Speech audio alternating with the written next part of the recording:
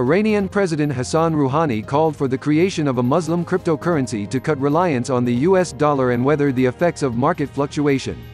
According to AP News, Iranian President Hassan Rouhani urged Muslim nations on Thursday to deepen financial and trade cooperation to fight what he described as U.S. economic hegemony, using an Islamic conference in Malaysia as a platform to decry American sanctions against his country.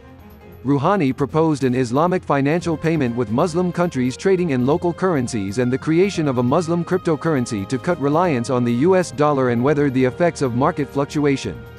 The future is being built today. Stay with us. The news release partner Stex.com.